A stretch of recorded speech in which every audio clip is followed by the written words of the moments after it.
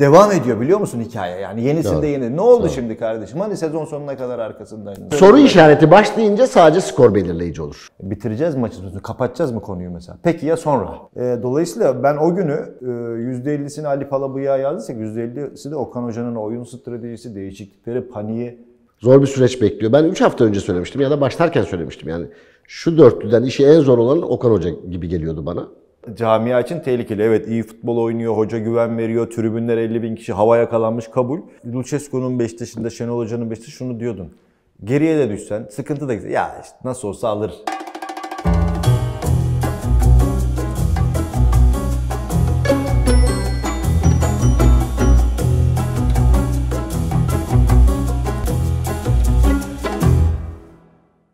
Agora'dan herkese merhabalar. Ee, hareketli bir hafta, hareketli günler geçiyor. Ee, özellikle Erdal abi şey konuşuyorduk ya, e, sezon başında kamuoyunun bir öngörüsü olur ve o gerçekleşir işin sonunda diye.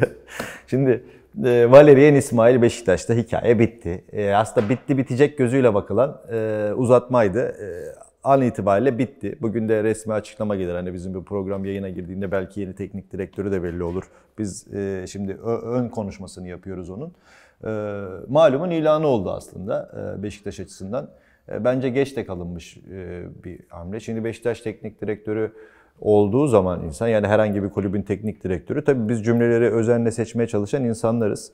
Ama e, gerçekten ben Beşiktaş'ta Carvalhal gördüm. Carvalhal'le çalıştım. Tayfur Avuççu ile çalıştım. Rıza Çalınbay'la çalıştım. Yani birçok isimle çalıştım. Niye üst klasmanı saymıyorum? Tabii Rıza Hoca o dönem değil de şimdi o da üst klasman. Gerçekten bu kadar kötü bir taktisyeni ben Beşiktaş'ta çalışırken görmedim. İlk defa buna buna Tigana? şahit oldum. Ha? Tigana Bunlar falan iyi. Tigana falan en azından bireysel oyuncu performansı görüyor. Burak Yılmaz'ı sağ bek oynatırdı falan. Sağ açık oynatırdı falan. Hani bir, bir dokunuş bir şey yapardı. Ee, Beşiktaş'a layık görülmesi hataydı. Sürecin bu kadar uzaması da bence hataydı. Ne oldu konusunu artık konuşmayalım bence. Ya konuşmayalım da insanın şey Ağrına ağrına, gidiyor. Ne ağrına gidiyor biliyor musun? İtham edilmek insanın Evet, doğru. ağrına gidiyor. Doğru. Zannediyorlar ki bizim derdimiz e, kişisel, şahsileştirmişiz zannediyorlar. Ben defa bana ne kardeşim geliyor Beşiktaş'ı Şenol Güneş mi şampiyonlar şampiyonluk yarışında tutuyor? Samet Aybaba mı tutuyor? İsmail mi? Bana ne? Tabii. Ben orasıyla ilgilenmiyorum ki. Ben gördüğüm oyun ve futbol mantaliteyle ilgileniyorum yani. E ne oldu şimdi? Şimdi biz bunu şimdi sormayınca devam ediyor biliyor musun hikaye? Yani yenisinde Doğru. yeni. Ne oldu şimdi kardeşim? Hani sezon sonuna kadar arkasındaydınız? Hani 3 yıl sizle beraberdi? Hani bilmem ne olsa da biz buradaydık. Hocamız hocamız. Ne oldu kardeşim? Hani kamuoyunu tweetleri okumuyordunuz? Hani söylenenlere kulaklar tıkanmıştı? Hadi tıkayın. Hadi Ümraniye spor maçını oynayın Valerian İsmail. Hadi. İşte anladın mı ya bu kadar olmaz ya insanı süreçte o kadar çok dolduruyorlar ki. Neyse sen bundan sonrasını konuş o zaman. Şey, önce öncesine dair sadece senin söylediğinden yola çıkarak şöyle bir şey söyleyebilirim. Hani bir şey öngörülüyor ve o oluyor ya.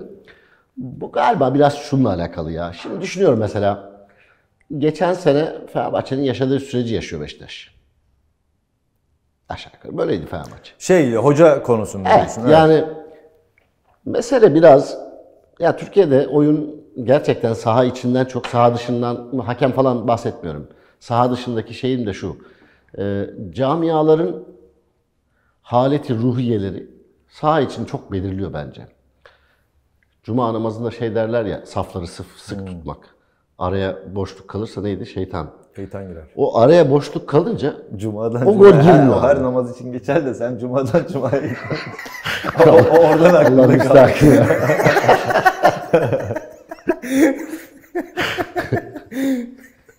Ee, Annem seyretse "İyi, en azından cuma. En azından ona, ona da geçiyor." şükür. Araya boşluk bırakınca o top girmiyor abi.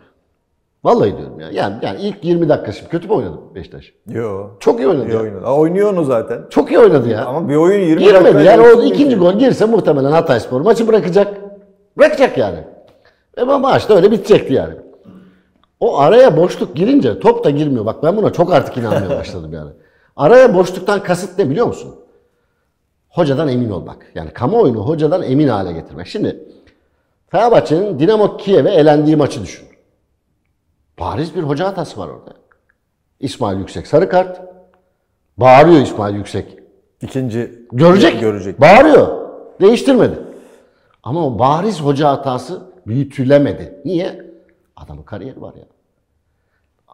Bir de 4 senedir yaşadıkları artık mecbur etti Fenerbahçe'yi. Öğretti bir şey. Evet. Yani, yani bu yap boz yap boz bir yere gitmiyor yani. Dolayısıyla mecbur. O anlayış bence Fenerbahçe'yi bugüne getirdi. Öteki de Beşiktaş'ı bugüne getirdi. Benim düşüncem bu. Benzer şey Abdullah Avcı da yaşayabilirdi. Aynı, aynısını yaşayabilirdi yani. Soru işareti başlayınca, şimdi aynı şey Galatasaray'da var ne yazık. ki. Soru işareti başlayınca o topta girmiyor abi. Olacak olan neydi? Yaklaşıyor yaklaşmakta olan neydi? Aynen öyle oluyor abi. Yaklaşıyor yani gör, görüyorsun. O olacakları herkes görüyor. Adım adım adım gidiyor. Top da girmiyor. İşte tesadüf sen de o golü yiyorsun. Olanlar oluyor yani. O yüzden Türkiye'de futbolu konuşmak cidden e, saha içinden çok camialar üzerinden ya da camianın birlikteliği, moral motivasyonu, işin sosyolojik boyutu Türkiye'de zannedildiğinden çok daha önemli. Ne yazık ki. Böyle olmamalı normalde. Ama böyle. Önce onu söyleyeyim. Bundan sonrası ne olacak? Yani Şenol Hoca dün hani biz WhatsApp grubunda konuşuyorduk. Ben bir video gördüm. Şenol Hoca hayırlısı olsun dedim. Niye? Çünkü Şenol Hoca'nın o videodaki şeyi e, çocuklar gibi şen hocam. Çok mutlu belli yani. İlkokul sanki yeni başlayacak ilkokula. Öyle bir heyecanlı bir şey vardı. Hayırlı olsun. Ee, yani belki olmaz gerçi de ama gördüğümüz kadarıyla. Mesela Sen böyle diyorsan gidiyor. artık, Beşiktaş'ın ilk duymadım Mert. sen böyle diyorsan artık diyorum. Yok hiçbir duyumum yok. Hiçbir bilgim yok. Sadece o videoyu gördüm. Hatta ondan önce ben Şenol Hoca milli takım lafları geçiyor. Milli takıma gider diye düşünüyordum. Yani milli takım Evet, öyle Koordinatör mü? koordinatör gibi bir şey. bir şeyler diyorlar oraya gider diye O düşünüyorum. görev olmazdı hocaya da onu ayrı konuşuruz. Ama videoyu görünce çok net yani hani e, hoca iyi de dinlenmiş Trabzon'da. Trabzon havası yaramış hoca. Gençleşmiş. Ha. Benden genç duruyor. Gördün mü? Hocam gördüm gördüm. Vallahi benden genç var. Benden ya. daha genç duruyor. ya. Ee, şimdi şu riski almaz diye düşünüyorum artık Ahmet Nur Çebi. İşte bildiğim, duyduğum kadarıyla Sayın Ceyhun Kazancı yine böyle, böyle bir yabancı teknik adamlar önerileri falan o iş ama olmaz artık. atıyorum yabancı teknik adam Luce'dir yani. Yabancı teknik adam Jesus'tur. Hani bu, bu ha, öyle bir profil buluyorsan denmez. eyvallah Ama şimdi işte Pinaryo'dur, İsmail'dir, Cart'tır, Curt'tur. İşte Gerard, Gerard ismi konuşuluyor falan filan. Ya, bu yok da öyle risk. Yani Gerard Gerard, diyor. aynen. Yani ona hatta temas kurulduğu şeyleriyle. Olmaz o benzeri iş. falan. Bundan sonra aynı Ser- nehirde iki kez yıkanılmaz. yani Sergen Yalçın olabilir sadece genç olarak nispeten yani Şenol Hocalardan genç olarak sadece Sergen Hoca olabilir. Onun dışında ya Lucescu o ya da o ayarda ya da işte Şenol Güneş. Ya ben Şenol Güneş hayırlı olsun bence. Abi yani. de Beşiktaş'ta Gordon Milne'den sonra başarılı bir yabancı hoca var mı? Var Lucescu var. Ha, Lucescu da, yani. Lucescu zaten söyledin ya onun dışında hani hiç böyle hatırlamıyorum. Ya yerli yabancı diye bakma. Del. Bosque bile, Del Bosque bile Tabii başarıdan kastınız şampiyonluksa tabii yok ama hani işte ben bir için başarısız olduğunu düşünmüyorum açıkçası. Statsız Evliya Çelebi gibi Türkiye'ye geze geze maç yapa yapa yine seni 30'a kadar yarışta tuttu 30. haftaya kadar yani. o büyük büyük maç kazanamıyor. Evet işte bir Dembaba vardı elinde. Evet. E, kalbur üstü yani Evet, var, evet. yani o, o yüzden o da iyi bir performans. Abi doğru bak o bak onu ben çok önemserim. Derbi kazanan hocayı ve derbi kazanan topçuyu çok önem, futbolcuyu çok hiç, önemserim. hiç yoktu. Şimdi bize şey diyorlar da futbolun romantiği. Ben futbolu derbiler üzerinden görürüm, okurum. Çünkü futbol diğeriyle vardır. Ötekinden di- öteki de olmaz, doğru. vardır yani. Ee, o açıdan Şenol Güneş bence de kadro Şenol Güneş'e uygun bir kadro. Ee, yarışta tutar seni. Şampiyonluk iddialı tabii onu bir şey diyemem. Beşiktaş her zaman doğal şampiyonluk adayıdır da. Şimdi mevcut sezonun da şartlarına baktığın zaman olur mu olmaz mı bilmiyorum ama seni yarışta tutar. Bir artı bir gibi görünüyor. Bilmiyoruz hani yayına girdiğinde belki başka bir hikaye çıkar Beşiktaş'tan. Ee, başkan da bir süre sonra bu işler hoca istifadan ötesine geçer. E tabii. Tehlike anın belki İsmail hikayesi de oydu Erdal abi. Yani Şenol Hoca'yı sezon başında boştaydı Şenol Hoca. Getirebilir miydi başkan? Getirebilirdi hayli hayli. Ama tehlike anında o camın kırılması lazım. Şimdi tehlike anında bir kıracaksın oradan bir şey çıkartacaksın. Tehlikeyi savuşturasın diye. Şimdi Şenol Hoca oydu o duvarda duran oydu. Tam da zemin ortam hazırlandı. Öyle öyle görünüyor. Sayın Başkan hiç fena bir stratejist değil ha. Bence fena değil gayet. İşte Yani hiç kendisinden beklenmeyecek ölçüde çok çok stratejik. Dur bakalım Mayıs kararlar. ayında, Haziran ayında daha çok şaşırtabilir futbol kamuoyunu. Şu yüzde yüz öyle. Hep hep geçerli onlar. Hoca Hep- konusunda demiyorum yani genel olarak. Başka şeyler çıkabilir. yani. Doğru ama evet ben de Şenol Hoca'nın bu takıma iyi top oynatacağını düşünüyorum. Bence Beşiktaş kötü top oynamıyordu bu arada ama e, dediğim şeyler geçerli. Tabii şöyle bir şey olacak yani mesela şimdi Galatasaraylılar kızacak ama hatta her takım için geçerli. Şenol Hoca gelir Beşiktaş birden çok iyi oynamaya Doğru. başlarsa Doğru doğru. o doğru. şey olacak. Nasıl geçen sene Giresunspor'un hocaya sabretmesi bir örnek olmuşsa bu da ters anlamda bir örnek olabilir. Doğru.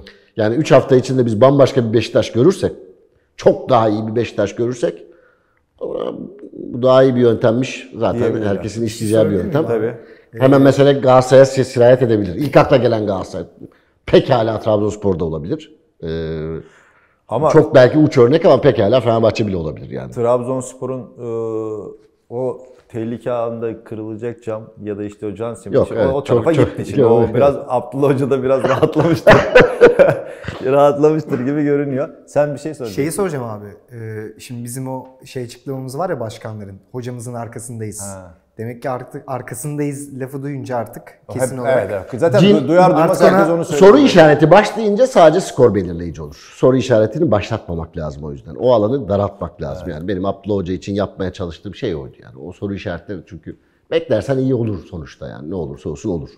Beşiktaş'ın şöyle bir stratejik hatası vardı. Hadi gel, illaki geçmiş konuşuyoruz özür diliyorum ama yeri gelmişken söyleyeyim. Eğer 3 senelik plan yaptıysan transferini de 3 senelik yapacaksın. Öyle bir plan yok işte. Hoca bir senelik. E, oyuncuların sahadaki 11'in ilk 3'ü 4'ü kiralık. Ve Premier Lig'den. Yani anladın mı? O yüzden bak Kiralık olur şöyle olur.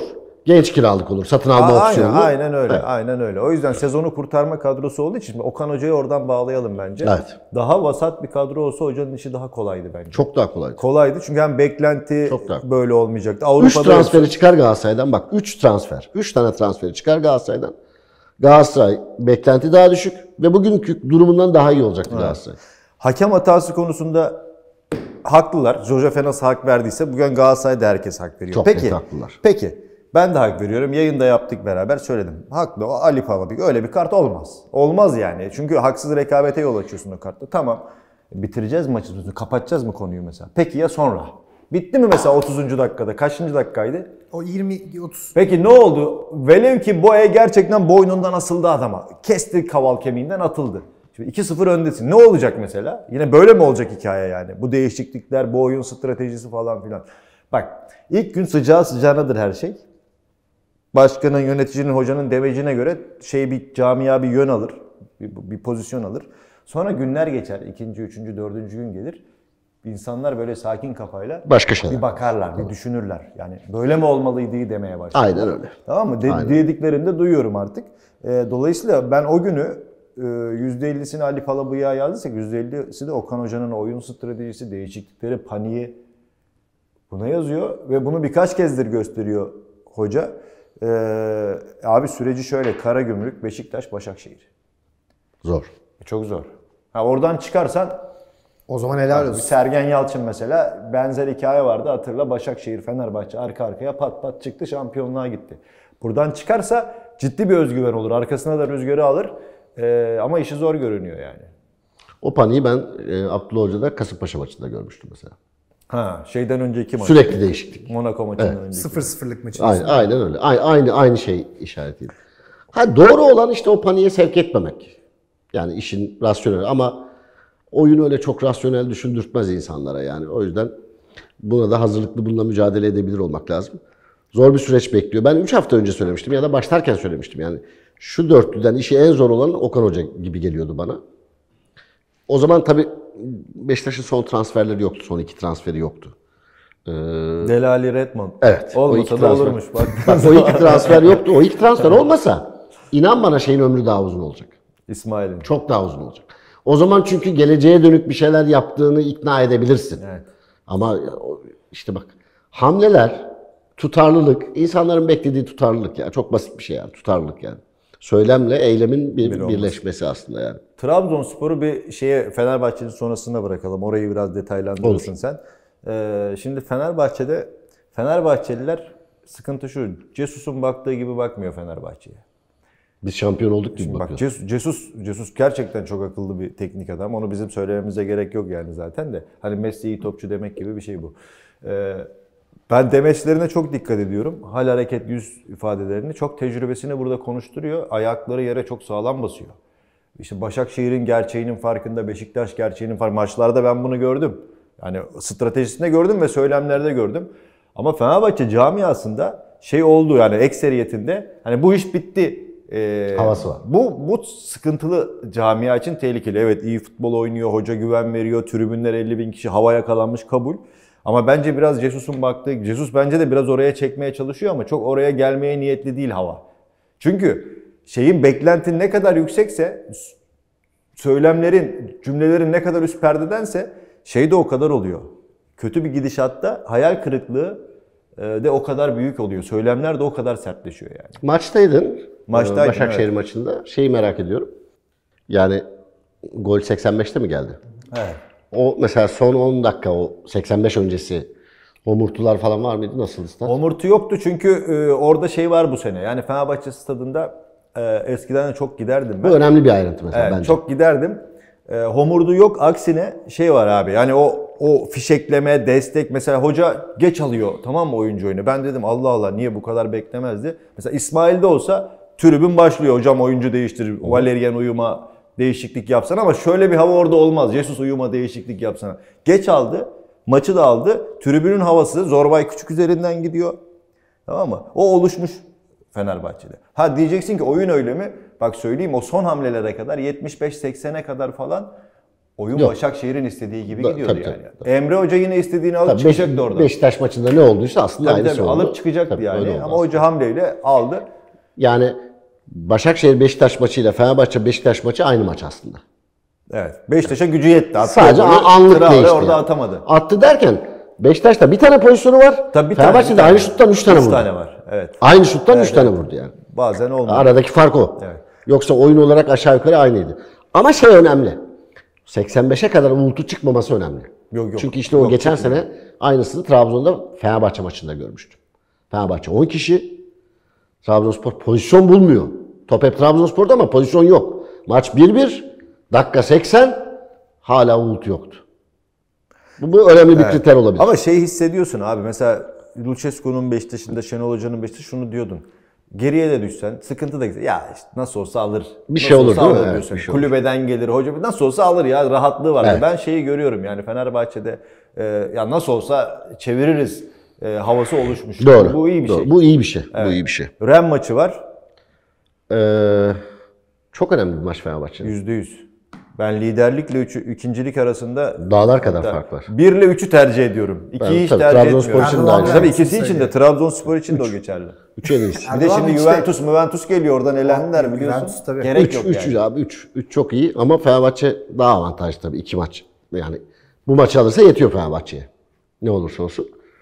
Ee, çok ortada maç Ergin Bey. Yani Abi tek panzehri Ren bulmuştu. Böyle öyle diyebiliriz yani. Son Konya maçları bile- iyi değildi aslında Karagümrük de buldu. Ren'in. Bence Karagümrük de buldu ama orada Arao'nun yokluğu çok etkili olmuştu. Borini orada çok dağıttı Doğru. ortalığı. Doğru. Biraz doğru, öyle bir durum doğru. vardı. Şimdi Arao da var ama Ya zor maç. çok hızlı takım Ren. zor maç yani. Zor. Ee, Umarız istediğimiz gibi olur deyip oradan şeye Bir de şey, istersen. onlar için de birincilik önemli çok. Tabii. Oradan şeye bak. Şöyle, ya beraberlik olursa ne oluyor? Yine. Beraberlikte son maça kalıyor. Bir bak A- Genel averaja bakacak o zaman. Çünkü Son orada maçta da beraber. şeyle Kiev maçı. Tamam orada da beraber, içeride de beraber. Aa, Lucescu da orada Allah ne verdiyse sezonun bütün şeyini oradan çıkarmak isteyecektir çıkarmak yani. isteyecektir. O O. Fenerbahçe'nin işine gelebilir. Tabii Tabii tabii. beraberlikte son maça kalıyor. 10 puanlar. On, on İş, puan. işine gelebilir. 11-11 olacak. Son maç. Ya ortada bir maç olacak. Ee, ama zor maç olacak yani. yani Evet. çok kolay Ve maç. Kızıl Yıldız maçına geçelim. O da zor maç. Yarın. E tabii zor maç, zor deplasman. Bir de adamlar içeride çok iyi. Evet. Bir de orada ürkütüyor o stat insanı maç- ya. Çok ürkütüyor o stat Yani insanı. gitmek istemeyeceğin Şey var. Birkaç deplasmandan biri. eee, Hocanın belki o konuda çok tecrübesi yok ama oyuncu grubunun bazılarının yok ama orayı tolere edecek sahada daha var var. Ah Ekip şimdi var. anladın mı? O adamlar yetiyor bu tarz maçlarda. Şimdi Bartra yer mi bir sürü böyle maç? Şimdi Hamşik. Hamşik. Tamam mı? Bu böyle bir sürü maç oynamış. E, Beşiktaş maçını düşün Ergin. Çok rahat Tabii Trabzonspor. aynen öyle. O o, o Ya o atmosfer içerisinde evet. yorgunluktan o yorgunlukla Beşiktaş'a karşı çıkıyorsun. Beşiktaş için çok önemli bir maç. Tribün tıklım tıklım. Yani hiç öyle bir panik hali yoktu. Onu da bak o söylediğim oyuncular sağladı. Çok Aynen. dikkat et. Çok tabii tabii. Tamam alıyor, baskıyı yemiyor, bakıyor, kaldırıyor Aynen. kafayı, Aynen, rahat aynen. idman yapıyor gibi bırakıyor sağa sola falan. Şey o, avantajı o. Evet. Ama şey Monaco mağlubi- galibiyeti şeyden çıktı. Gerçekten şapkadan çıktı. İşte ben şimdi puan hesabı yaparken e, Ferenc Varoş'a tabii. yönelmiştim ben. Dedim ki buraya 3, buraya 1. Monaco olmasa da olmaz. Üçüncü o, oluyorsun, O aynen. acayip bir şey oldu yani. Ee, bonus oldu. Tabii şimdi bu maçı alırsa Trabzonspor da son maçı liderlik maçı olacak. Eğer bu maçı kazanabilirse. Zor ama imkansız değil. Ama zor yine zor maç yani. Tabii zor. Ama canım, 3 kolay adamları eksik. Yani önemli 3 adamları yok. Yani ilk maça göre ben açıkçası Trabzon'un hala yüzde böyle 60'a yakın daha avantajlı olduğunu düşünüyorum. Kızıl Umarım, Yıldız maçı umarım haklı çıkarsın yani. Umarım haklı çıkarsın. O maçı alırsa çok çok iyi bir şey olur. Tabii yani. canım o maçı Şu alırsa süreçte- zaten e, liderlik aşağı yukarı bir fa- şey, beraberliği alacak bildiğim oluyor. kadarıyla. Evet. Yani beraberlik garantiliyor üçüncülüğü. Ama öyle yapmayacak bildiğim kadarıyla tam tersi. Erdal abi kazandığında bile yine hala üçüncülüğü o üçüncülüğü hiç vazgeçmiyor. Ya yavrum bir şey istiyorum da. Ben de katılıyorum ya. Vallahi bir final Son son final 32 ile görelim. ya. Ben inanıyorum final finale gideceğine Trabzonspor. Bak yani Aslında haklısın. üçüncü olsun ben inanıyorum finale gideceğine. Bu sene bu sene UE- UEFA e, Avrupa Ligi çok Ya deli misin Arsenal Marsenal çok var orada ya. abi. Yani Şimdi üçüncü oldun.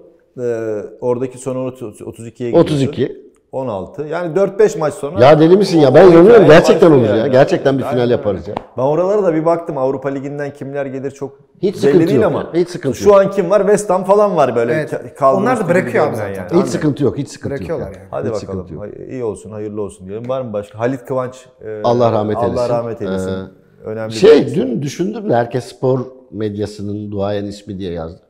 Mesela ben Halit Kıvanç sporla değil hep 23 Nisan'la hatırlıyorum. Yani benim hani benim için 23 Nisanların unutulmaz şeyiydi Sunucusu. yani. Çünkü 23 Nisan'ı biz bütün gün televizyon başında geçirdik çocukken.